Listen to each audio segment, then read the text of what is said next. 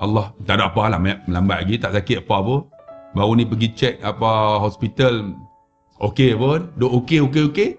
Banyak hak okey tu mati. Sebab tu tuan-tuan siapa yang umur 50 tak rasa lagi tak tahulah. Kadang-kadang kan bila umur 50 ni ada orang sakit dia tak mati. Ada orang tuan-tuan uh, tak sakit pun mati. Ada orang mati bukan accident ada orang tuan-tuan makan ubat punya lama tapi tak mati. Ada orang tak makan ubat meninggal. Sebab tu bila kita dah umur ni 50 ni kadang-kadang renung, tuan-tuan kena renung. Ish, sampai masa Tuhan ambil nyawa kita. Mati ni macam mana? Kena renung juga.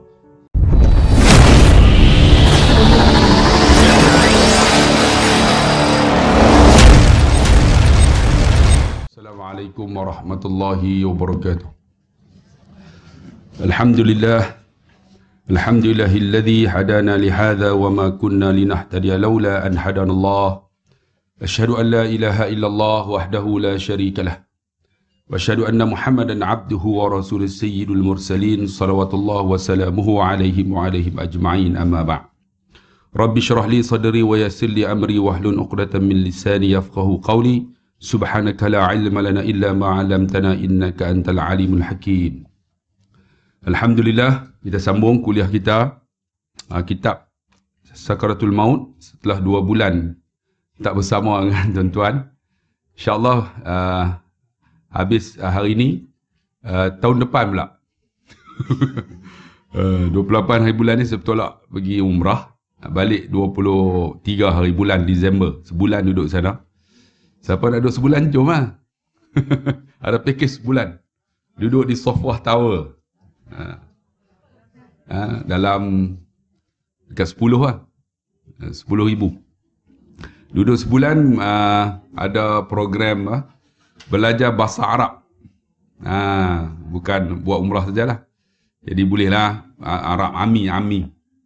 Uh, boleh belajar sana insya-Allah. Kita sambung muka surat 41 tak silap saya yang saya tanda ni 18 hari bulan 8 betul lah siapa yang ada kitab A'udzubillahi samil alim minasyaitonir rajim. Kita tengok ayat Quran ini surah Yusuf ayat 12 eh, ayat yang ke-84 surah yang ke-12 wa tawalla anhum wa qala ya asafa qala yusufa wa biyaddat aynahu min al-huzni fa huwa kadhim dan Yakub berpaling dari mereka yakni anak-anak uh, seraya berkata anak Nabi Yakub ni ada uh, 12 orang setengah kata. Ada setengah kata 13 orang. Dalam mak yang berbeza. Dan satu mak ialah Yusuf dengan Bunyamin. Aduhai duka citaku kepada Yusuf dan kedua matanya menjadi memutih kerana kesedihan dan dia dan dia adalah seorang yang menahan amarahnya terhadap anak-anaknya. Nabi Yakub ni adalah orang yang cukup penyabar. Kalau tuan-tuan tak percaya, bagilah nama anak Yakub. Ha, penyabar tuan-tuan. Dan uh, kisah Al-Quran ini menceritakan ketika Nabi Yusuf dibuang di dalam telaga, dalam perigi. Dan dikatakan bahawa Nabi Yusuf dibunuh, dimakan oleh serigala. Maka Nabi Yaakob ni tuan-tuan dia tak marah ke anak dia. Apa yang dia buat? Dia menahan kesabaran tu, dia menangis. Sehingga buta matanya. Ha, tu hebatnya Nabi Yaakob seorang yang penyabar, Yaakob. Umar langsung menangis dan surahnya terputus dia mencerita tentang Umar Al-Khattab yang saya sebut Sayyidina Umar ni disebut sebagai tiga gelaran. Pertama, Al-Faruq. Al-Faruq ini membezakan di antara benar dan salah. Kalau benda tu tak betul tuan-tuan, Umar ni orang yang cukup tegas. Yang kedua apa? Yang kedua, pendahulu wahyu. Apa kata Sayyidina Umar kepada Nabi SAW? Selepas itu wahyu turun seiring dengan pendapat Sayyidina Umar. Hebatnya Sayyidina Umar. Sebab itulah Nabi kata, kalau ada Nabi selepas aku, maka Umarlah orangnya. Itu hebatnya Sayyidina Umar Al-Khattab. Yang ketiga disebut sebagai Syahid Mihrab. Ha, ni kita nak cerita ni. Sayyidina Umar ini, ketika mana dia dibunuh oleh Abu Lu'lu'ah Al-Majusi. Tengok Sayyidina Umar. Umar langsung menangis dan suaranya terputus-putus. Daripada membaca surah Yusuf dengan seketika. Ketika dia baca ayat ni lah pada makmum para makmum yang ada di belakangnya juga ikut menangis. Ha, ni Sayyidina Umar ni dia faham. Kita imam menangis, kita di belakang duk Duk kata apa? Kau ajak menyapai imam, awak baca panjang sangat. Sedangkan imam duk menangis, duk menghayati ayat Quran tu. Kan? Kita tak faham. Walaupun tak faham tuan-tuan, layan aja. Kalau tuan-tuan pergi Mekah kan, tengok imam Sudais kan, menangis, layan aja. Alirkan air mata. Sebab apa tuan-tuan? Air mata tu memadamkan api neraka kita. Saya pernah bulan Ramadan. Sebab tu saya kalau Ramadan, saya tak nak pergi uh, Mekah. Uh, pernah saya bawa jemaah. Bawa dalam 20 orang. Ambil 10 Ramadan terakhir, dia orang nak raya di sana. Kita melayan lah kan. Rupanya 10 malam terakhir, uh, solat terawih saja, satu jam. Satu jam, satu juzuk. Habis lebih kurang dalam pukul 11. Pukul 12 datang semula untuk solat tahajud. Bersama Imam Sudais. Solat tahajud juga, satu jam setengah. Ha, layanlah kan. Pukul 12 tu dah lah habis pukul 11. Pergi pula pukul 12. Tuan-tuan bayanglah satu rakaat dekat-dekat. Aduh, tak tahu lah tuan-tuan. Mula-mula tangan macam ni tuan-tuan. Lepas tu macam tu. Lepas tu macam tu. Lepas tu turun. Lepas tu duduk. Wajaknya Pak Iman ni bila Punya lenguh lah. Allah yang tak tahan tu. Ni. Kunut saja setengah jam. Walau macam ni lah tuan-tuan. Lepas tu. Lepas tu hang baca doa baca lah. Aku tak larat angkat tangan. Yang tak tahan ni tuan-tuan ada jemaah saya. Kan ni mayang di masjid haram dia tak kira lagi perempuan. Perempuan di belakang lah. Ada seorang makcik tu letih tuan-tuan. Dia sujud-sujud. Tak terangkat dah tuan-tuan. Tidur terus dalam sujud tu. Kami bagi salam semua. Saya suruh isi saya kejut lah. Kejut makcik. Dia pun jaga. Allah tertidur. Uh, macam mana? Alhamdulillah jumpa Nabi SAW. Letih tuan-tuan Allah Akbar. Ni, Sayyidina Umar ni baca ayat ni menangis. Sahabat menangis sebab faham. Ha, kita tak faham. Tak faham pun tak apa. Layan aja. Ha, sebab apa? Air mata tu memadam api neraka kita. Ketika Umar tuan-tuan menangis, tatkala Umar rokok. Ni. Datanglah Abu Lu'lu'ah Al-Majusi. Dia bukan orang Islam lah. Majusi. Majusi menyembah api. Bukan menyembah berhala, menyembah api. Dan terus menikamnya dengan sebuah pisau sebanyak tiga kali tikaman. Tengah duk rokok tu, tikam. Sedap, memang sedap tikam lah. Kan orang tak nampak, kita tikam. Abdul Rahman bin Auf. Abdul Rahman bin Auf ni seorang sahabat Nabi yang kaya lah. Kalau sebut Abdul Rahman bin Auf. Terus maju ke hadapan, menggantikan Umar bin Al-Khattab menjadi imam salat. Bukan dia pergi pegang Umar. Tentu tengok, ini kaedah menukar imam. Sebab tu orang yang di belakang ni, makmum ni, duduk di belakang imam kena tahu macam mana pertukaran. Uh, pernah viral baru ni ada seorang imam, dia baca batuk. Dia baca tersekat, tersekat, tersekat. Bila tersekat tuan-tuan, apa yang dia buat? Dia langkah ke belakang. Terus yang depan ni sambung. Ah, ni makmum hebat lah. Ini kadang-kadang yang duduk belakang tu pakai serban tapi tak tahu apa. Kan? Maksud dia bila imam ni langkah, dia terus sambung. Sambung ayat yang sama. Lagi sedap suara dia. Oh, ni yang kita nak tuan-tuan. Jangan jadi berlaku di uh, kulim. Ada satu kulim tu saya pergi ceramah. Imam ni solat subuh. Solat subuh dia rokok-rokok tuan-tuan. Rokaat yang kedua. Terkentut. Eh, rokaat pertama terkentut. Bila terkentut. Dia bangun-bangun. Kan semua duduk, duduk sujud. Dia pun kata Allahu Akbar. Dia pun duduk angkat-angkat. Dia tengok imam duduk berdiri. Menghala kat dia orang. Semua pakat terkejut. Macam mana nak buat ni kan? Maksud dia makmum ni kena tahu tuan-tuan. Imam ni betul lah kan. Dia bangun, dia pun kata Allahu Akbar. Kalau dia tak kata Allah Akbar, dia orang sujud lagi lah. Jadi dia pun bangun-bangun dia batal. Allahu Akbar. Dia pun duduk antara dua sujud lah. Bila duduk, jadi dia pun buang mikrofon. Dia pun terus letak, dia pun tunjuk yang belakang tu. Kamu imam. Betul lah kaedah tu? Betul lah. Apa yang buat ni makmum ni, dia buat macam mana? Dia merangkak. Merangkak pergi depan, pergi ambil mikrofon, sangkut, lepas tu naik. Allahu Akbar. Betul tak? Tak betul. Terus imam ni kata, selalunya orang boleh melangkah ni, langkah ke depan, boleh bergerak dalam tiga rukun fi'ali. Lebih batal. Kamu ni bukan bergerak tiga rukun fi'ali. Kamu merangkak macam remau, dia kata. Batal ni. Terus dia kali. Itu nak buat mana abad imam? Ini kaedah tuan-tuan tak faham. Jadi apa yang patut buat? Dia berdiri dulu. Allahu Akbar. Kemudian dia langkah ke depan lah. Ha, langkah untuk gantikan imam. Itu kaedah dia. Ha, kita kena faham tuan-tuan. Sebab tu tuan-tuan yang dikasih rahmati Allah. Cuba tengok. Abdul Rahman bin Auf ni. Terus dia langkah ke depan menggantikan Umar bin Al-Khattab menjadi imam salat. Ha. Kan? Ketika Umar membaca ketika Umar mem, hanya membaca Allahu akbar Allahu akbar Allahu akbar ketika tikam kemudian dia tersungkur di hadapan mihrab sebagai syahid di jalan Allah Subhanahu wa taala. Setengah uh, ulama kata uh, dia mati di depan tu. Setengah ulama kata dibawa balik. Ha, diceritakan dibawa balik. Abdul Rahman bin Auf terus maju ke depan menggantikan Umar bin Al-Khattab menjadi imam salat dan menyempurnakan rakaat kedua dari solat subuh tersebut. Dia sempurnakan, tuan-tuan. Tengok apa? Kerana solat itu wajib. Uh, jangan kita berhenti pula. Terus. Dia ganti, dia ganti. Suaranya pun ketika itu terputus-putus kerana tangisan. Ni Abdul Rahman ni jadi imam. Sambung tu menangis. Kerana apa? Sebab dia mengetahui bahawa Amir Mukminin yang tercinta bakal meninggalkan kehidupan dunia ini. Ni dia tahu ni. Sayyidina Umar yang kena tikam tu akan matilah. Sayang dia kepada Sayyidina Umar ni. Sayang di antara para sahabat. Itu sebab kita ni tuan-tuan datanglah majlis ilmu ni lahirkan cinta di antara kita. Kalau ada ada di kalangan kita tak datang, kita akan rasa, ya, sahabat kita kenapa tak datang ni kan? Lalu datang. Kan? Kena tanya, kena tanya. Sebab apa? Ada ikatan hati. Ha ni, sahabat salah sahabat ni, bila dia nak jadi imam menangis Abdul Rahman bin Auf. Kerana apa? Dia tahulah Sayyidina Umar akan meninggal mati lah. Ha, sebab tu kita ni tuan-tuan nak lahir ni. Rasa sayang di antara kita. Sebab Nabi kata apa? Al-mar'u ma'aman ahabba. Seseorang ni akan bangun dengan siapa yang dia suka. Ha, tuan-tuan. Tuan-tuan cinta Nabi. Kita akan bangun dengan Nabi. Tapi Nabi dah tak ada.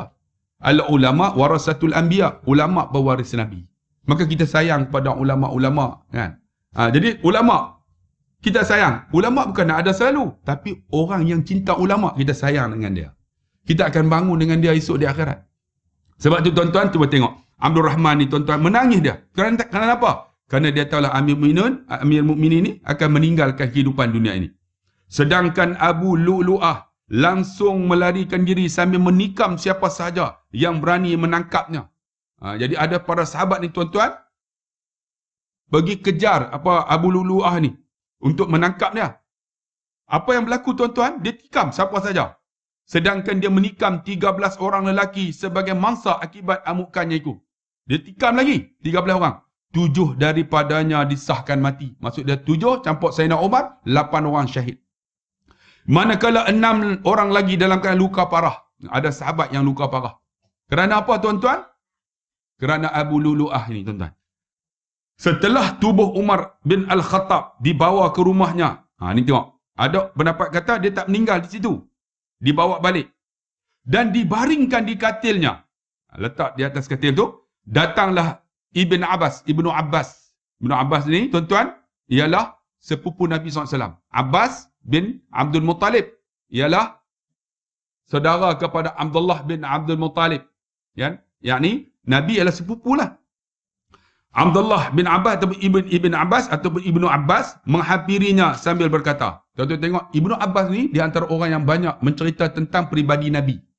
Kalau tuan-tuan tengok dalam kitab Syama'il Muhammadiyah yang ditulis oleh Imam Tirmizi, yang merawaitkan tentang hadis Nabi, tentang Nabi, banyak budak-budak. Di antaranya, Ibnu Abbas. Kemudian, Ibnu Abu Bak, Abdullah bin Abu Bak. Di antaranya, Anas bin Malik. Di antaranya lagi, uh, Allahumma salli sayyidina Muhammad. Uh, uh, Allah Zaid bin Harisah dia meninggal tuan-tuan dalam peperangan Mu'tah. Ha, dia di antara juga yang banyak mencerita tentang Nabi. Kan? Di antaranya Urwah bin Zubair. Ha, Zubair bin Awam, Urwah apa? bin Zubair yang menceritakan tentang peribadi Nabi. Nabi kenin dia macam mana, dia pakai celak bila. Semua yang cerita tu budak-budak. Sebab mereka duduk dengan Nabi SAW. Termasuk dengan Abdullah bin Abbas ataupun Ibnu Abbas yang kuburnya ya, jenazahnya ada di Taif. Ibnu Abbas menghampiri sambil berkata, Assalamualaikum wahai amil mukminin. Sebab tu kita ziarah orang yang sakit, bagi salam tu sebagai doa kepada dia. Kalau tak nak doa yang lain. Assalamualaikum warahmatullahi wabarakatuh. Doa tiga. Assalamualaikum, minta sejahtera. Wabarakatuh. Assalamualaikum warahmatullahi minta rahmat. Wabarakatuh, minta berkat. Kalau kita malas nak doa. Tapi kalau kita doa, Allahumma rabban nas mushibal ba ishfi wa anta syafi la shifau illa shifauka la yughadiru saqama. Kemudian pegang kepala dia tu usap. Itu ziarah orang sakit lah. Kalau tak tahu, bagi salam aja. Assalamualaikum warahmatullahi wabarakatuh. Kita doa tiga lah.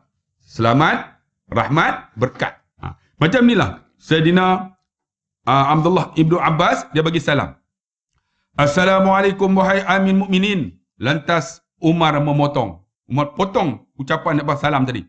Aku bukan lagi amin mukminin. Aku bukan lagi lah khalifah dah. Bermula sekarang ini, sekarang aku telah menjadi penghuni akhirat.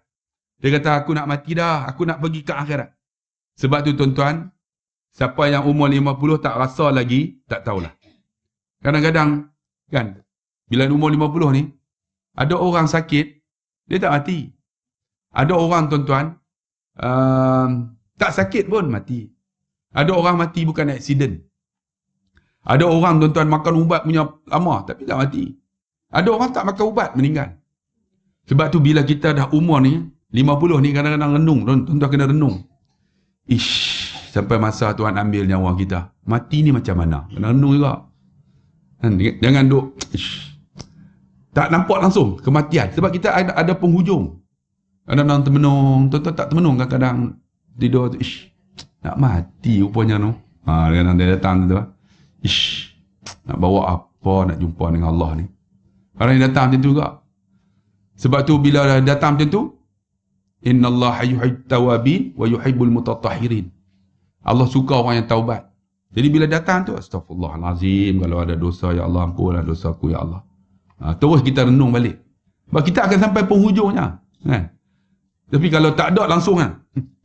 Allah tak ada apa lah melambat lagi tak sakit apa pun. Baru ni pergi check apa hospital okey pun, duk okey okey okey. Banyak hak okey tu mati. Saya ingat tuan-tuan, uh, di Taman Poskam dekat Penang tu, uh, ada satu taman saya duduk mengajar tuan. Hujung ni pengarah um, uh, custom, hujung juga pengarah. Pengarah-pengarah tak ngam. Dia orang pencen pun duduk tak ngam juga. Kan? Yang sana tu bila saya jumpa, yang sini kutu. Dia kata tu, tu pengarah. Dia kata, hmm, kenciman ni, darah tinggi semua ada. Dia nunggu aku, dia tak sihat apa, tak ada. Yang ni, yang ni, yang ni. Kita jumpa sana, Sana kutu pula. Sihat ya, nampak yang sihat dia tak.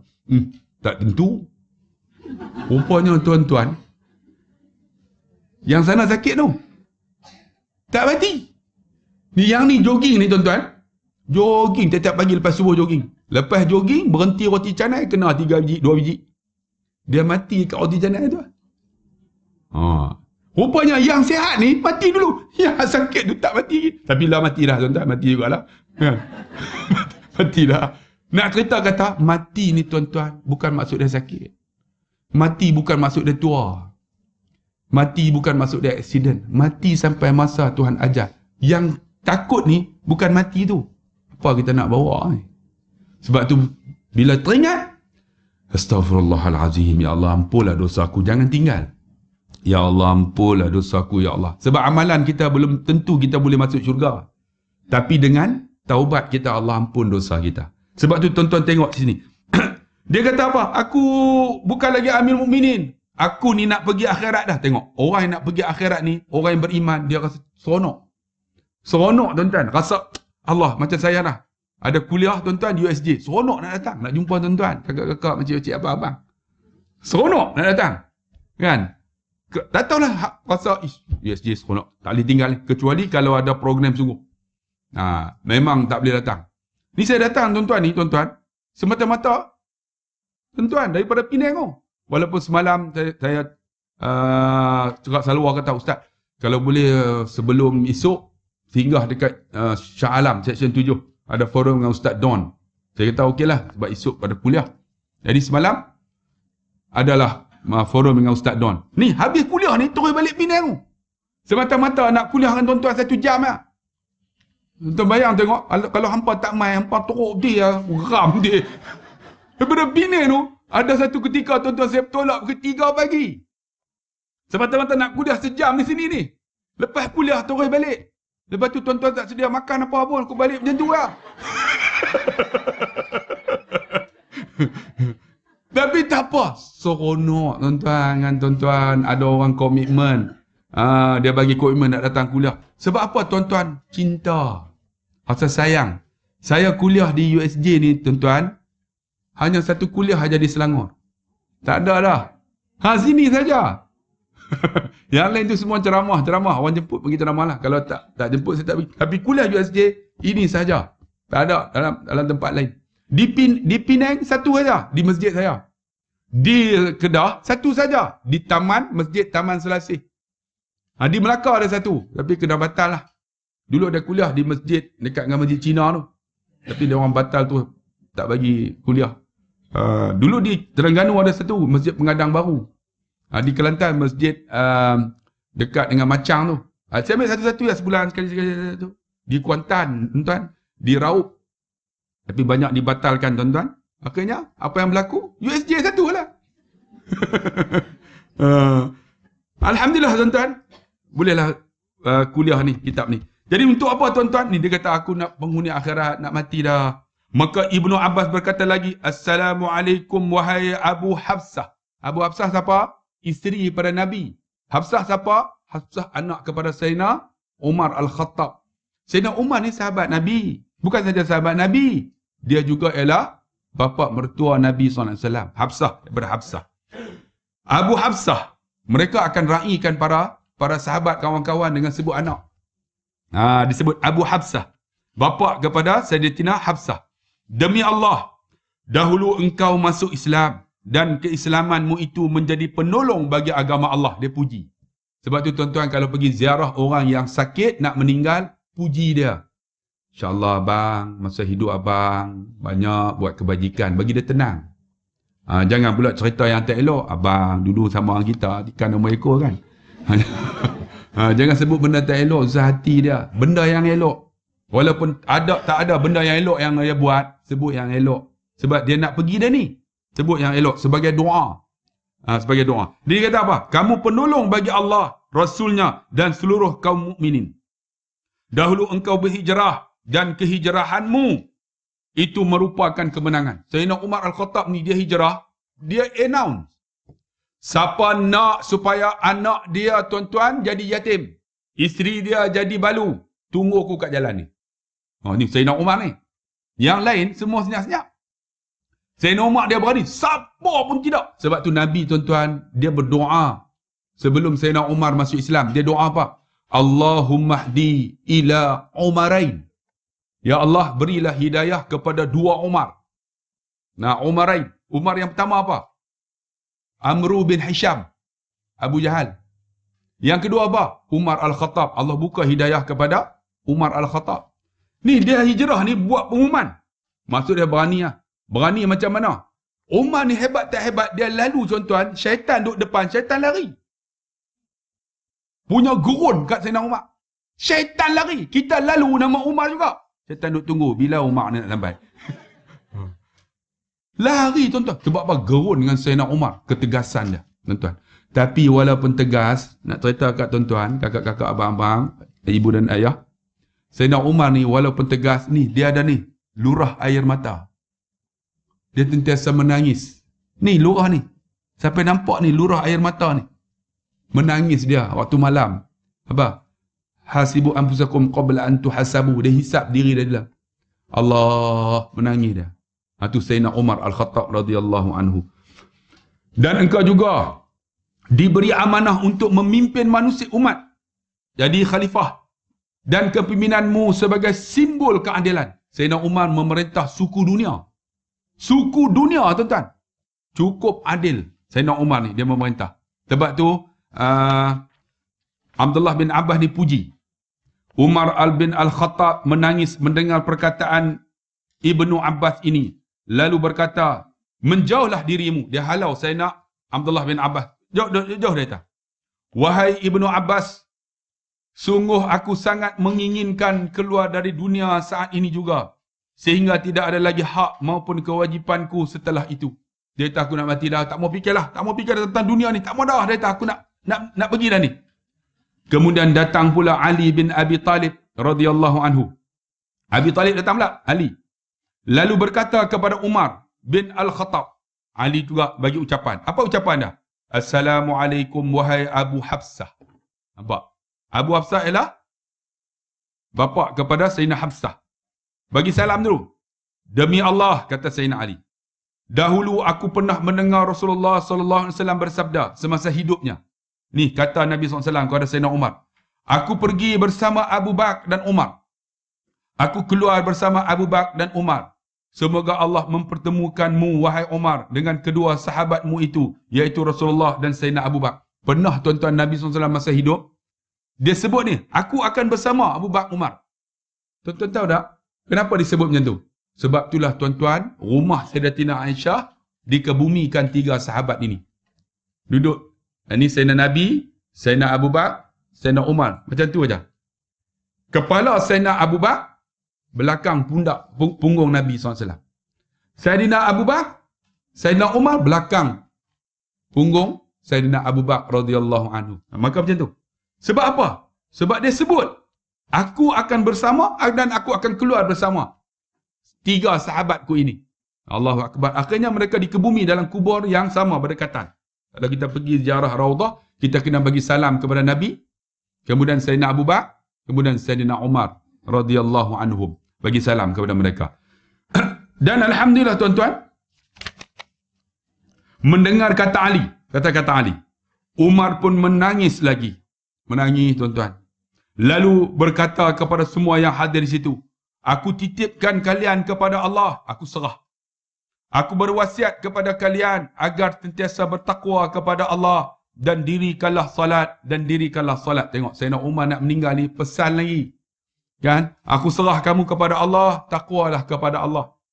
Dan jangan lupa dia kata, jangan tinggal salat. Ha, salat ni tiang agama. Ni ada orang hantar mesej kat saya. Suami saya ustaz, bila cakap suruh salat, dia tak nak salat. Bila tanya kenapa tak nak salat, dia kata salat buat apa tak khusyuk. Kadang-kadang disebut celakalah orang yang bersolat kan. Jadi buat apa solat dia kata sebab tak khusyuk. Tuan-tuan, kita bila kata kita sedap makan. Tuan-tuan makan tak?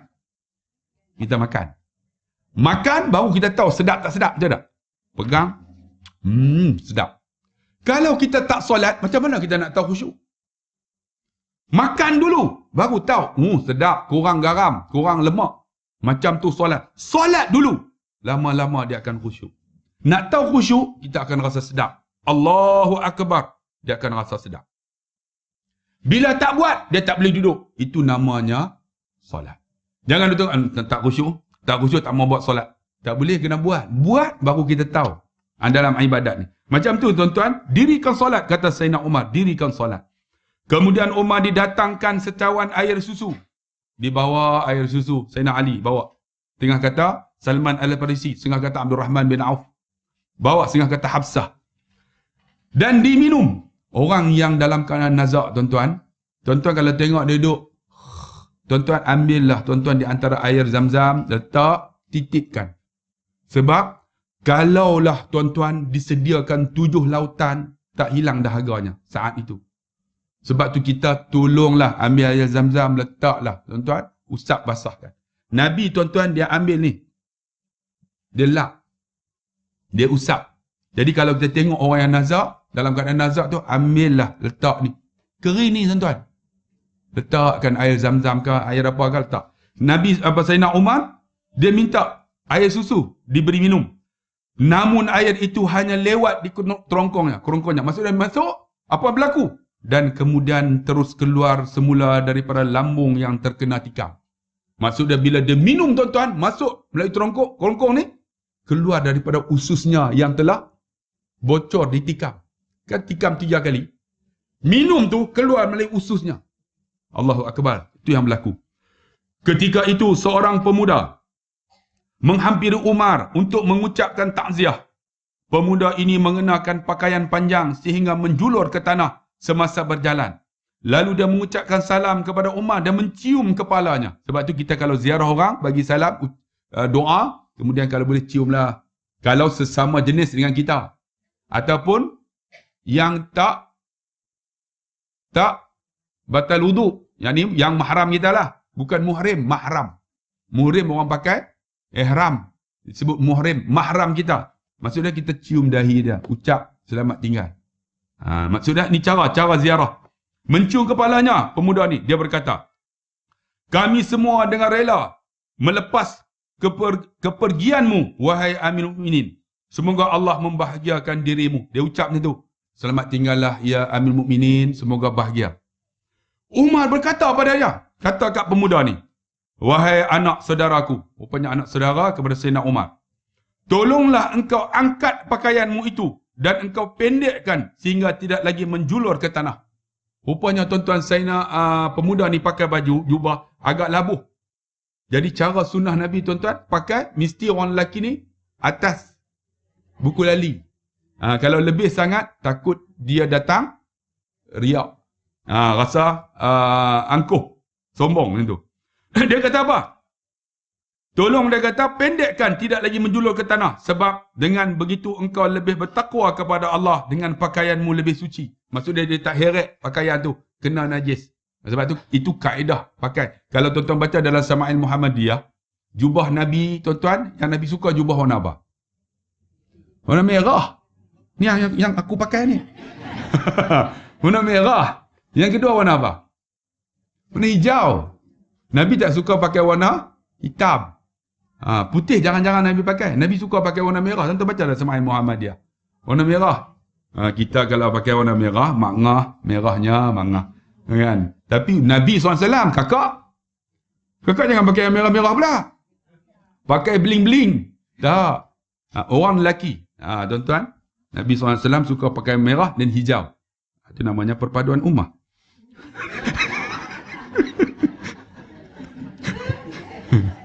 Dan lagi tuan-tuan. Lima belas ribu majoriti tu. Aduh. Tak nak sambung lagi. Okey, temu. Pemuda itu menjawab, baiklah wahai amil mukminin. Dia ucap terima kasih tuan-tuan. Orang tegur dia. Semoga Allah membalas jasa-jasa kebaikanmu selama ini kepada Islam dan kaum muslimin dengan balasan yang sebaik-baiknya. Nampak dia doa, doa yang baik kepada sahabat yang dalam keadaan nazak ni. Umar menjawab lagi. Bukan begitu. Semoga Allah membalas jasa-jasa Islam kepadaku selama ini dengan balasan yang sebaik-baiknya. Dia pusing balik, tuan-tuan. Tidak lama setelah itu Umar pun menghembuskan nafasnya yang terakhir. Tuan-tuan, ni nak mati pun nasihat orang lagi tuan-tuan. Allahu Akbar. Ini orang yang soleh. Ini kita cerita tajuk kita ni, cerita tajuk orang yang soleh meninggal. Uh, sebelum tu ialah orang yang toleh, orang yang tidak uh, beriman kepada Allah meninggal. Ini orang yang soleh. Sama lagi. Pada suatu pagi, Muaz bin Jabal. Muaz bin Jabal ini ialah seorang sahabat Nabi yang dihantar ke Yaman untuk berdakwah Muaz bin Jabal. Berasa bahawa ajalnya telah dekat. Ha, dia disebut gubernur lah, gubernur di Yaman. Dia berkata, tengok, orang yang soleh ni, dia tahu macam mana saat kematian dia. Ya Allah, sesungguhnya aku berlindung kepadamu. Dari pagi-pagi hari yang membawa kepada neraka. Ya Allah, sesungguhnya engkau maha mengetahui bahawa aku tidak mencintai hidup hanya untuk menanam tanam-tanaman. Bukan pula untuk mengalirkan sungai-sungai dan bukan pula untuk membangun gedung-gedung dan istana. Tetapi demi Allah aku mencintai kerana tiga perkara. Ini kata Muaz bin Jabal di saat nak mati ni. Dia kata apa? Tak ada dah aku ni dunia tak mau dah. Nak buang dah, nak buang dah. Apa yang dia sebut oleh Sayyidina Muaz? Tiga perkara. Pertama, untuk berpuasa di siang hari. Dia kata aku nak puasa lah pada siang hari. Yang kedua apa? Untuk khiyamul lail di malam hari. Yang ketiga apa? Untuk berkumpul dengan para ulama di majlis majlis zikir. Ni ini cara nak Muaz bangun. Bila bangun dia fikir apa? Esok puasa tak? Malam ni nak bangun qiyamul lail. Adalah majlis ilmu. Kita ada tak fikir ni? Bangun pagi. Lepas bangun tu tuan-tuan, alhamdulillahilladzi ahyana ba'da ma amatana wa ilaihi nusyur. Tarik tuan-tuan. Kemudian buat macam ni sikit. Ni kena buat. Tuan-tuan buat tak? Tak buat eh? Buat Ha, ha, Ha, mengeliat orang panggil mengeliat kan. Tarik. Ada. Lepas tu tenung. Ini nak buat apa dah? Ha, tuan-tuan ada fikir? Hari ni nak makan apa ni? Yang tu orang salah. Ha? Patutnya fikir. Hari ni kuliah Ustaz Abdullah Khairi ni kena pergi ni. Majlis ilmu ni. Ha, ni, ini, ini yang dipikir oleh Mu'az bin Jabal. Hai, jangan tinggal sunat duha ni aku nak solat ni. Solat duha. Ha, ni fikir ni, fikir ni.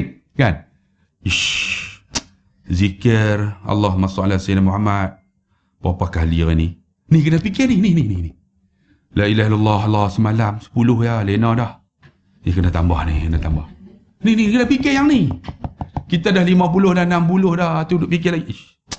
Projek ni siapa nak bagi? Nak bagi kat siapa ni? Anak mana ni? Projek apa bang? Dekat dah kematian kita. Ni ni, fikir yang ni ni. Hai, ya Allah, semalam tak sempat sunat taubat. Kalau tak sempat, buatlah bangun terus. Buat sunat taubat. Sebab apa? Masa dekat dah, tuan-tuan. Ni kita duk fikir lagi. Allah, tanah ni aku tak faraid lagi ni. Tuan-tuan jangan susah hati. Mati ya tuan-tuan. Tanah tu anak kita faraid lah. Sebab tu kalau boleh masa hidup ni, tuan-tuan, hebahlah mana yang boleh. Hebah, hebah, hebah. Hebah ni tukar nama siap-siap. Ha, tapi jaga juga, tukar-tukar-tukar tuan-tuan. Anak ambil, kita tak ada rumah pula. Lain kali kita ada rumah orang tua-tua. Yang, yang kes baru ni kan. Ha, Faraid, Faraid, Faraid, Faraid. Bagi kat anak, ingat caya kat anak. Lain kali anak ambil semua. Dia tahu rumah ni rumah saya. Ayah anak, keluar. Duduk rumah orang tua-tua. Allah, sedih ya tuan-tuan. Ini kita kena fikir, muas fikir. Pertama apa? Nak besar. Yang kedua apa? Aku khiyamul lail. Yang ketiga apa? Majlis ilmu. Ha. Tetapi sekiranya kita sekarang ini hanya mengenali matlamat hidup, tentulah kita akan menjawab, kami mencintai hidup untuk memegang kedudukan penting. Kita ada fikir apa? Allah, aku ni nak dapat Profesor Madya. Aku ni nak jadi pengarah. Umur 58 lah, 2 tahun lagi nak pengarah apa? Nak mati ya tuan. Kan? Cita-cita tu duduk nampak lagi. Tuan-tuan ingat, pencen masa ada jawatan orang hormat. Tak ada jawatan. Tak ada orang hormat. Nah, semalam saya forum dengan Ustaz Don. Uh, pegawai bahagian masjid ni. Uh, Datuk Imran. Dia pengarah JPJ. Duduk bawah-bawah sama kita ni dengar kuliah. Saya pun tak nampak muka ni. Kat mana muka ni kan? Mana ni? Otak duduk main ni. Mana ni? Mana jumpa ni? Rupanya dia pengarah JPJ, bekas pengarah. Jadi kita pun habis-habis. Datuk ni kat mana jumpa ni? Kan? Saya kalau orang jumpa saya, Ustaz kenal saya tak? Saya akan sebut. Ha, memang tak kenal lah tu, bohong lah.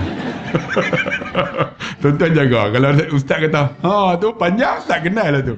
Saya kalau saya kenal, saya akan sebut nama. Ha, tu saya kenal kakak. USJ ke? Ha, memang saya kenal lah. Tapi, kenal Ha. Memang tak kenal lah tu. Mesti lepas tu dia tanya, kat mana tu? Ha, tak kenal lah. Ni saya, Datuk ni saya kat mana kenal ni? Tiba-tiba, ha, Ustaz Hashim begitu. Inilah bekas pengarah JPJ. Masya Allah. Datuk Imran ke? Ha, ni saya sebut. Datuk Imran ke? Ya. Datuk buat apa sekarang? Saya mewakafkan diri saya untuk masjid. Ha, yang ni ucapan yang kita nak. Ni, aku wakafkan, saya wakafkan diri saya untuk masjid hidup dengan masjid. Ha, ini yang kita nak kan ucapan ni. Ni ada orang uh, dah buat apa? Ha, kita start-start pencen ni buka kedai sikitlah. Ha. Allah akbar ada fikiran tu lagi tuan-tuan. Tapi kalau ada orang pencen disebut, uh, buat apa sekarang ni? Alhamdulillah Ustaz. Lepas pencen ni banyak hidup, tu ingat Tuhan lah. Banyak kuliah-kuliah. Kalau tak ni pun banyak kita buat benda kebajikan. Ada NGO. Yang ni kita nak. Ini pencen lah. Uh, pencen buat apa? Alhamdulillah buka syarikat sendirilah ni. Uh, dekat-dekat untung juta, dua juta. Tuan tu bukan masa dia lah. Tu bagilah ke anak-anak kita kan. Bukan dunia ni nak. Tapi 60-70 ni bukan masa dia dah. Kan? Bagilah orang lain urus pula. Ada orang ditinggal terus dah. Benda tu kita dah ada dah. Tuan-tuan boleh hidup dah. Kan? Yang lain ni, kita nak cari untuk bekal dia. Ini yang difikirkan oleh Muaz. Muaz siapa ni? Gubernur. Gubernur tuan-tuan. Kami mencintai hidup untuk memegang kedudukan penting. Memandu kereta-kereta mewah. Tak ada masalah. Saya kata dunia ni carilah kereta mewah pun tak apa. Bawa kereta tu datang kuliah. Bawa kereta tu datang kuliah. Tu saya cerita tuan-tuan. Pengurusi masjid Kajang. Masjid Kajang. Saya jumpa dia. Datuk, uh, nak balik dah. Kita sejak Ustaz. Saya nak bagi hadiah kat Ustaz. Kata, jom Ustaz ikut saya. Saya pergi. Jaguar kereta. Jaguar, kereta Jaguar tu yang rimau depan tu. Tuan-tuan pernah tengok tak? Saya pun sampai-sampai. Kita tuan-tuan tunggu lah. Dia duduk di jauh lah. Ustaz tunggu tunggu Ustaz. Bonet. Oh. Kita punya bonet kereta tarik tak terbuka lagi. Tu pun masjid dah datang. Ni. Oh. Dia, dia pun pergi. Ha. Ustaz ambil tu dalam tu dia tak ada kotak tu untuk ustaz. Kita pun ambil lah. Pegang nak tutup. Tak payah dia kata. Lepas tu saya kata dah buat macam mana ni? Tak. Oh. Saya pun pergi Datuk. Jaguar ni berapa? Tak, tak mahal Ustaz. Yang ni ni nak bawa pergi masjid lah. Jaguar pergi masjid. Berapa? 1.1 juta. Hmm, Okey lah tu. Bawa masjid 1.1 juta. Kita bawa masjid Hancil lah. Yang jaguar tinggal di rumah. Bawa jaguar tu. Maka yang tu tu harta dunia. Tapi jadi akhirat. Kakak nak beli baju cantik-cantik. Belilah kak. Bawa dia datang rumah Allah. Dia dunia tapi akhirat. Kakak nak bersiap. Bersiap elok-elok. Bubuh celok elok-elok. Bubuh putih. Bubuh mulut gincu tak apa. Datang kuliah. Aku tengok pun nampak segak. Ini main kuliah bedak pun tak boh. Aku tengok. Muka je jebon pun. Boleh kat segak tak apa. Kan dunia tu. Tapi jadi akhirat. Ustaz tengok tenang. Ya, kan? Ha. Ini datang kuliah bedak pun tak boh. Ini ada yang boh boh budak bedak sejuk. Budak muka macam lutung. tak ada, tak ada. Jadilah dunia tapi akhirat tak ada masalah. Tuan-tuan benda baik. Ha, buat benda baik. Tuan-tuan tak ada masalah. Kita jadikan dia dunia tapi untuk akhirat. Tuan-tuan. Ha, sebab tu disebut sini. Ada orang tuan-tuan bangga dengan isteri dan anak-anak. Ada orang tuan-tuan bila cakap kan sebut anak dia. Anak saya enam orang alhamdulillah enam universiti. Meluat kita dengar pun dah. Betul tak? Ada jenis tu pada. Bila sebut dia cerita anak dia, anak saya tiga orang PhD. Dua orang doktor. Anak saya, anak saya saja. Kan? Bukan cerita tu bukan apa. Boleh cerita. Tapi bila selalu mencerita, dia jadi meluat. Orang pun meluat lah. Dia tu jumpa anak dia. Macam orang lain tak ada anak kan. Ha, kadang macam tu lah kan. Ha, tak ada masalah. Anak saya Alhamdulillah doktor. Tapi anak saya walaupun doktor hafal Quran. Jadi pengajaran pada orang. Anak saya dia tak kerja apa, engineer ya. Tapi uh, dua-dua orang ni Alhamdulillah Ustaz. Kira boleh kalau bagi jadi imam boleh jadi imam. Ha, ha yang tu kita nak. Ha, ada hubung dengan dengan akhirat. Itu kita nak. Bercakap tentang anak-anak. Itu pun kehidupan yang kita cintai. Tidak ada bezanya sama sekali dengan kehidupan binatang-binatang. Sama dengan binatang. Kan? Bangun pagi, dia cari makan. Ya. Balik, penuh tembolok dah. Balik. Kalau kita fikir tentu, tak ada tentang akhirat. Sama binatang, tuan-tuan. Ula'ika kal an'am. Sama dengan binatang. Balhum adal. Allah kata, bahkan lebih teruk. Bezanya hanyalah bahawa kita boleh bercakap. Berakal dan boleh mencapai kemajuan. Bezanya, kita ada akal. Binatang tak ada akal. Binatang dia naluri. Dia tetap dah. Kalau ayam, naluri dia makan apa? Makan beras, makan dedak, makan tu. Bagi daging, dia tak akan makan. Sebab naluri dia macam tu. Tapi kita, makan semua. Dedak makan. ayam makan. Semua makan, tuan-tuan. Uh, naluri. Lembu, rumput je. Lembu makan rumput, gemuk. Rumput ada kolesterol tak? Tak ada. Tapi pasal apa gemuk? Ada orang saya tak mau makan daging nampak nak makan sayur. Makan sayur gemuk, lembu gemuk. Dan Mana? Gajah makan tebu lah. Jangan tanya. Enggak. Jadi tuan-tuan makanlah pada makan pun tapi jangan lupa. Allahumma barik lana fi ma razaqtana wa qina azabannar. Jangan lupa bismillahi ala barakatillah. Makanlah apa pun dia jadi berkat kolesterol tu lemak dia akan jadi vitamin. Sebab apa? Berkat. Jangan nak, nak makan kambing, kambing darah tinggi. Lah mana ada orang makan kambing darah tinggi tuan. Sebab apa? Kambing dia, dia tak ada lemak banyak. Ah ha, bagus tuan Nabi suka. Saya kambing sebut kambing saya makan. Tapi jangan lupa bismillahirrahmanirrahim. Kambing kita makan tu jadi berkat, bila berkat dia jadi vitamin. Dia akan jadi penawar Makan nak makan apa pun. Ni Allah saya tak mau makan. Gemuk.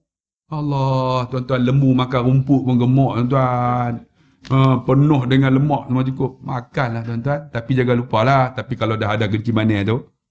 Ah, tak apa ustaz, minum gula. Tu dia kan. Teh tarik. Teh tarik tinggi ni. Susu dekat sini. Memang Alhamdulillah tuan-tuan. Memang berkat mati tu ya tuan-tuan. Agak-agak lah kan. Berkat pun ikut kemampuan yang kita ada. Kan? Maksudnya kita minta berkat, kita jagalah.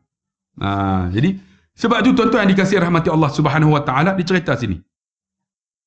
Beza dengan binatang. Oleh itu, kita wajib mengkaji dan merenungi semula kehidupan para sahabat Nabi dan ulama salaf agar kita dapat mengetahui bagaimana sebenarnya hakikat kematian dan falsafahnya dalam kalangan mereka. Tentu kena ingat, bila sebut para Nabi, hebatlah. Tapi jangan lupa, lepas Nabi disebut sahabat. Lepas sahabat disebut ulama salaf. Ulama salaf ialah tiga tahun selepas Nabi SAW meninggal. Itu ulama salaf. Banyak orang kata kami ikut salaf. Tapi ikut apa? Ibn Taymiyah. Ibn Taymiyah bukan 300 tahun lepas Nabi meninggal. Ulama salaf ni ulama yang 300 tahun hidup lepas Nabi meninggal. Di antara apa? Imam Syafi'i. Ni semua ni. Imam Malik, Imam Hanbali, Imam Hanafi. Mereka ni lah salaf. Banyak orang kata kami ni salaf, salaf. Salaf tapi ikut Ibn Qayyim. Ibn Qayyim bukan salaf. Dia hidup selepas tu. Ibn Taymiyah memang ada sekilas dalam 300 tahun lebih. Tapi ulama-ulama salaf ni ulama yang hidup 300 tahun selepas Nabi meninggal. Sebab tu Nabi pernah tuan-tuan, dia duduk dalam satu majlis. Macam ni lah. Majlis tu, majlis BBIP. BBIP ni kira, kalau kita datuk-datuk lah, Tan Seri apa semua kan. Beza tuan-tuan. Saya kalau duduk dengan dengan BBIP ni, nak cakap kontrol. Kita nak takut, takut, takut. Kira susah lah tuan-tuan. Kadang-kadang air liur meleleh dulu daripada keluar cakap.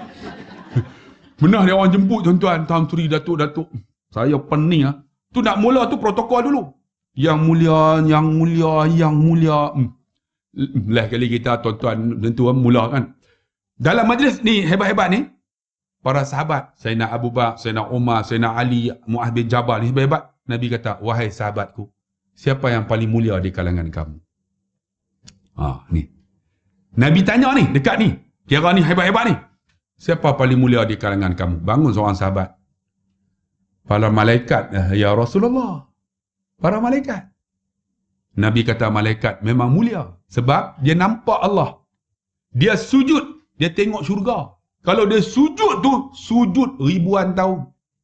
Dia tidak ribuan tahun. Dia doa ribuan tahun. Sebab dia tak ada nak nafsu. Memang mulia. Tapi ada lebih mulia lagi. Sahabat senyap. Para Rasul ya Rasulullah. Para Ambiya. Nabi kata memang para Nabi ni mulia. Sebab dia dapat wahyu.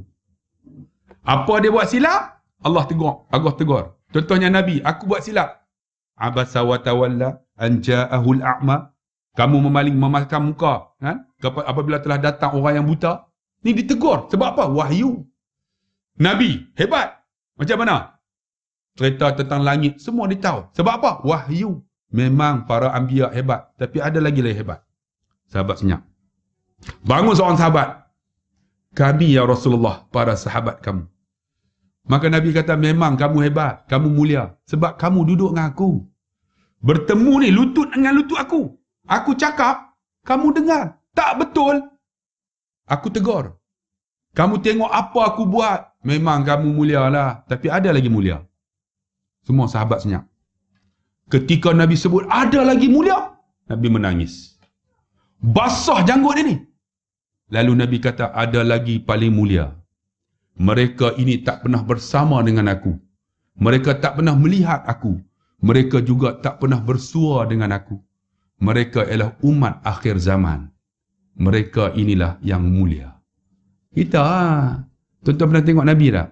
Tak pernah. Muka Nabi tengok tak? Tak pernah. Saya pun tak pernah. Pernah mimpi jumpa Nabi tak? Tak pernah. Saya pun sama. Saya duduk dalam raudah tuan-tuan. Duduk dua jam. Ni, zikir ni Allahumma salli ala sayyidina Muhammad ni jangan tanya ribu nak bagi jumpa Nabi mimpi. Tertidur. Alhamdulillah. Tak mimpi juga. Yang mimpi jumpa apa? Bini aku. Jaga-jaga. Teringat. Mimpi jumpa bini. Dia fikir apa? Tiga jam duduk dalam tu. Duduk. Nampak bini duduk cari. Mampu lagi. Oh. Allahu Akbar tuan-tuan. Tak mimpi tuan-tuan. Tapi Umar akhir zaman Nabi kata. Sebab tu tuan-tuan yang dikasihi rahmati Allah Subhanahu wa taala. Maka sama sini.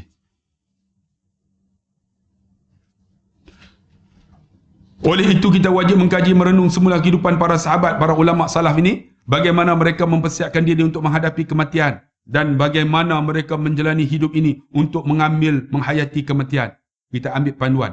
Dalam sahih Muslim diriwayatkan daripada Amru bin Al-As bahawa tatkala kematian menghampirinya di Mesir. Amru ni saya cerita berapa kali dah. Tapi dia ulang mula. Dia memalingkan wajahnya, saya baca sudah.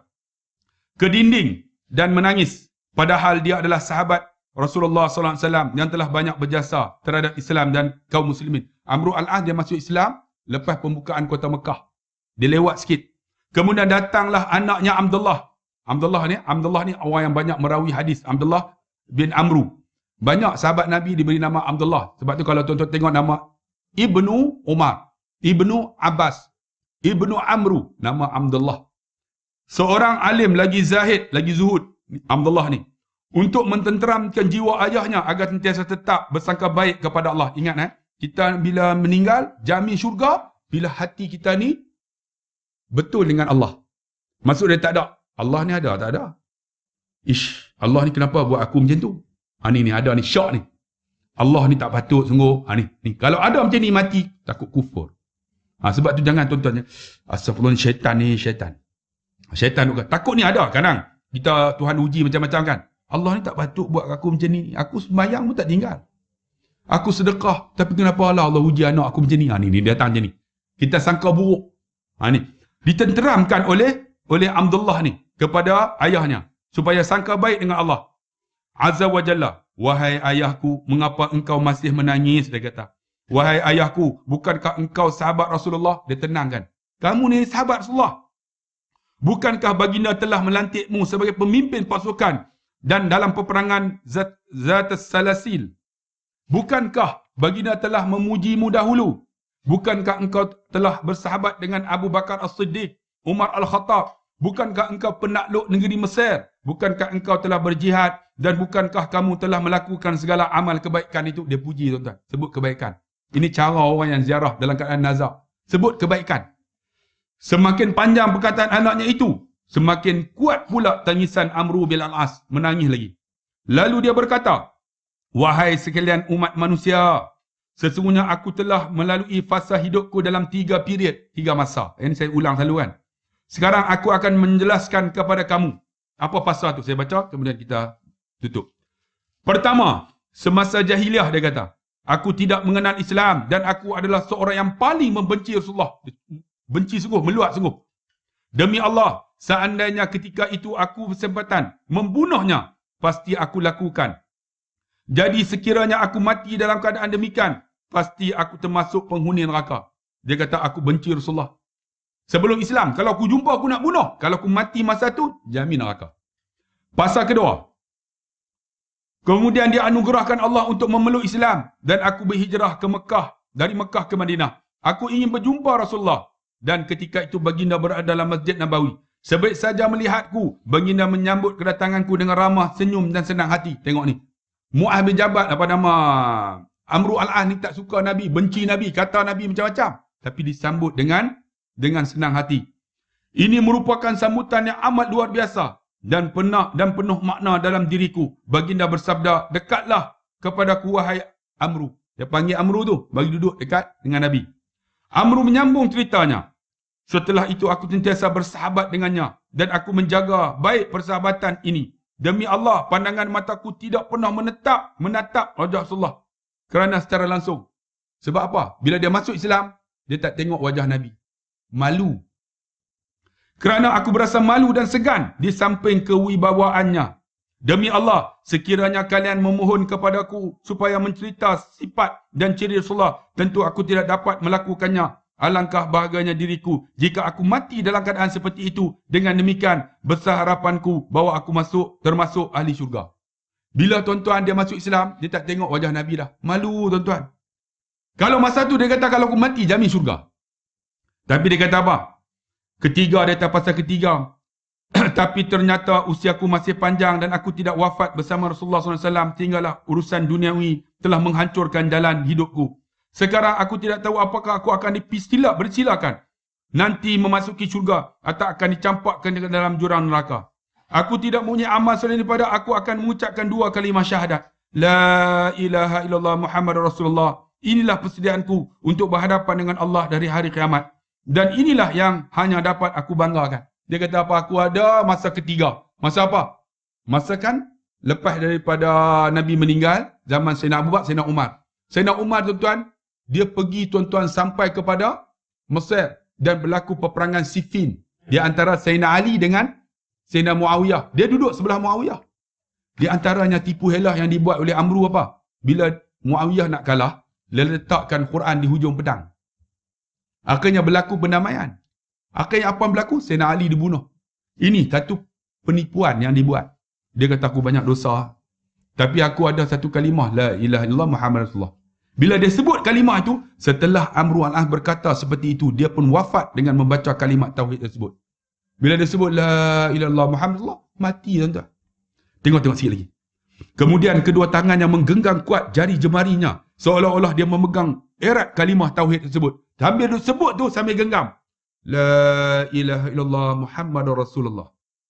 Dia genggam tu. Kemudian anaknya Abdullah menceritakan ketika kami ingin memandikannya. Kami cuba beberapa kali untuk melepaskan genggaman tangan ni. Kan bila kita mandi jenazah, kita akan buka Buka, kita buat je lah. Kita akan kiam.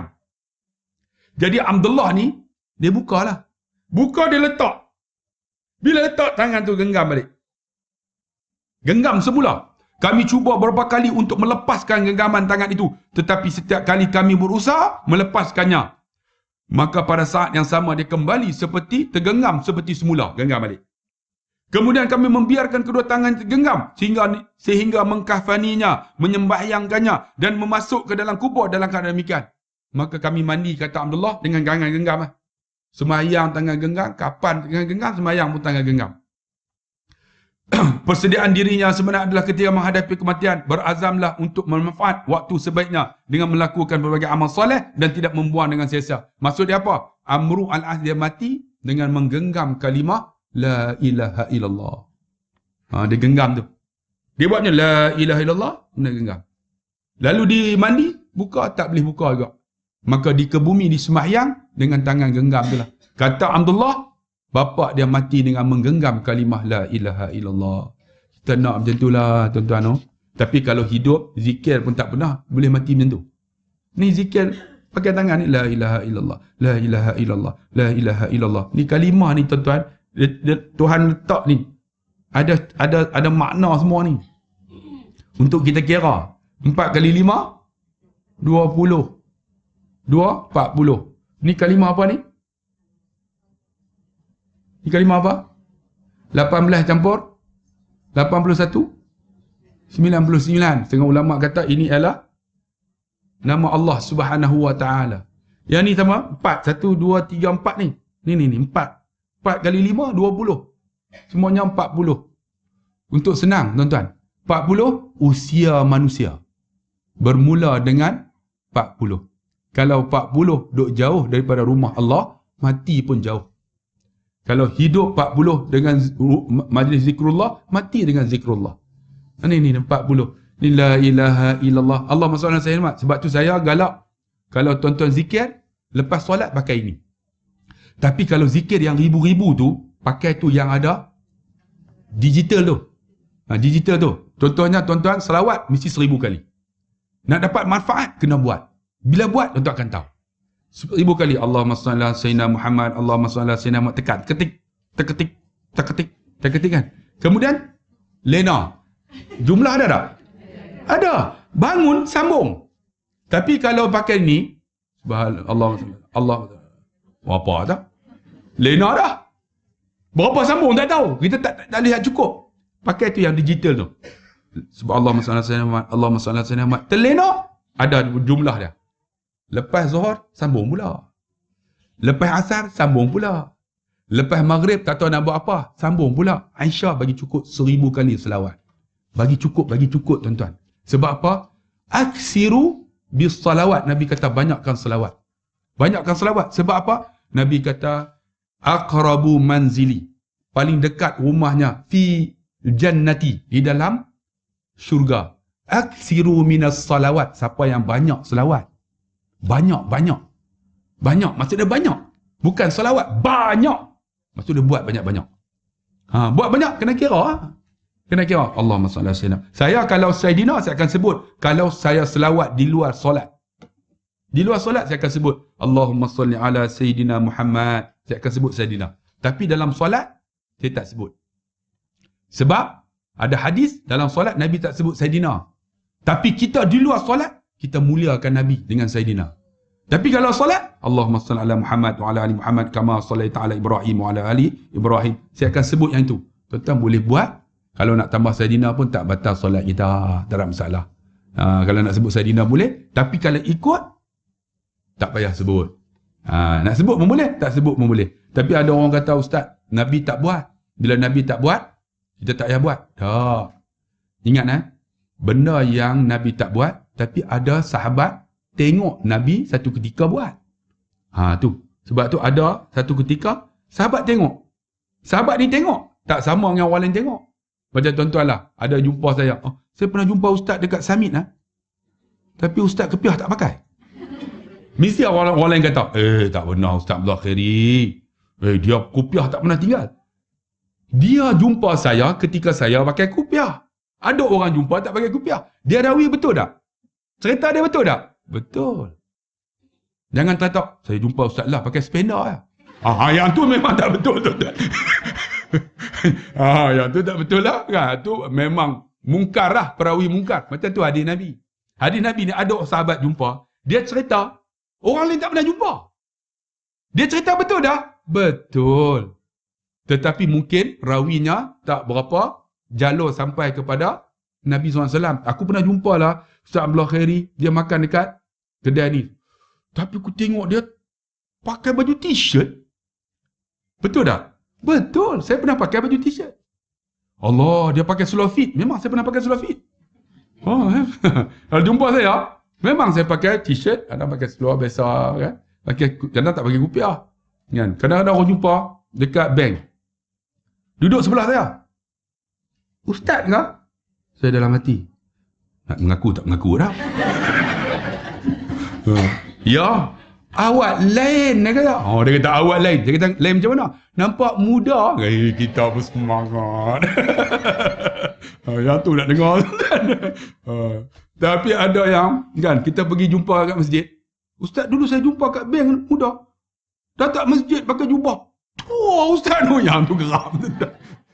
Tapi rawi itu betul dah? Betul. Macam itulah Nabi SAW. Sahabat cerita. Sebab tu tuan-tuan yang dikasih. Ada sunnah yang sahabat buat. Sahabat tengok. Ada yang Nabi cerita. Ada di kalangan sahabat tuan-tuan. Dia buat puasa setiap hari. Tapi Nabi tak suruh. Ya, Nabi tak suruh. Nabi kata aku pun Nabi. Aku puasa Isnin dan Khamis. Tapi dia buat betul dah? Betul untuk dia. Macam tu tuan-tuan. Nak dapat kelebihan lebih. Buat bagi lebih. Jangan suruh orang buat macam mana kita nak buat. Tapi Nabi suruh di antaranya selawat seribu kali. Yang ni Nabi suruh. Buatlah selawat. Kalau tuan-tuan nak buat dua ribu boleh tak? Boleh.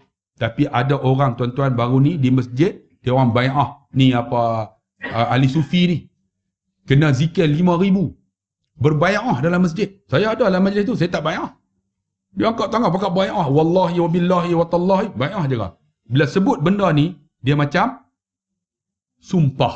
Bila langgar sumpah, kena bayar kifarah. Jaga tuan-tuan. Jadi banyak yang jahil-jahil nak angkat. Nak zikir tuan-tuan la ilaha illallah lima ribu kali. Setiap hari dalam hati aku. Seratus lima ribu. Boleh buat ke? Rupanya betul tuan-tuan. Habis-habis sebulan yang mana angkat bayar tu telefon saya. Ustaz masa tu Ustaz angkat bayar tak? Tak, saya tak. Saya tak, saya tak sanggup. Saya tak mampu lima ribu la ilaha illallah. Seratus kali tu kita boleh lah. Ni kami ustaz ni macam mana dah bayar ustaz? Saya tambah buat tak? Buat apa ribu pun tak larat. Lima ribu. Ha, kena bayar kifarat. Ha, tapi saya kata kat dia, ingat kita ada janji dengan Tuhan. Alas tu bi rabbikum? Qalu bala syahidna. Kita janji dengan Tuhan, kita nak Islam. Kita nak solat, kita nak puasa, kita buat tak? Tu pun kita tak buat. Tambahlah kita janji dengan ni manusia. Zikir tu sunat ya. Uh, jadi nak buat buat tak buat tak apa.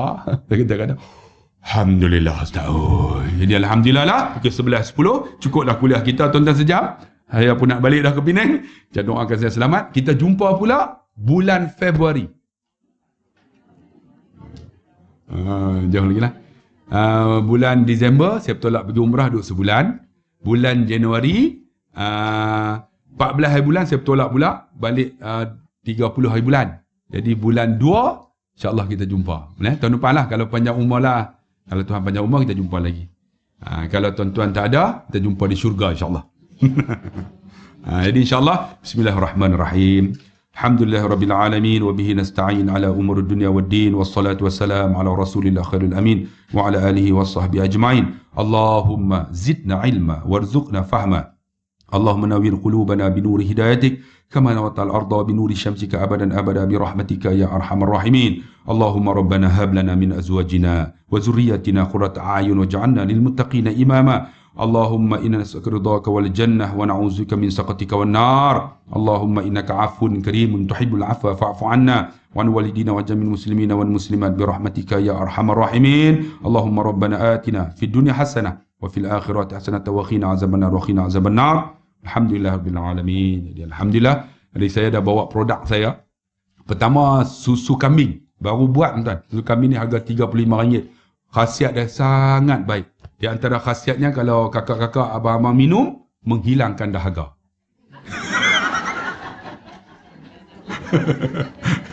Ada di luar sana. Bagus. Satu syecek tu. Pagi-pagi minum lah. Uh, satu lagi. Uh, net. Apa? Bah, sarang burung. Bird, bird nest. Uh, harga dia RM7, kalau tiga, RM20. Uh, yang ini bukan keluaran Cina punya. Ini orang Islam punya sungai petani berebut tuan, orang Islam kita. Kita order 10 tong, dapat 4 tong. Sebab tak ada uh, orang Islam yang keluar. Tapi Alhamdulillah dia keluarkan. Bird nest ni tuan-tuan bagi tenaga. Bagus untuk sihat badan. Ada di luar sana boleh dapatkan produk. Itulah. InsyaAllah keluaran Ustaz Abdul Khadir. Kita jumpa lagi. Sekian wabillahi taufiq wal hidayah. Wassalamualaikum warahmatullahi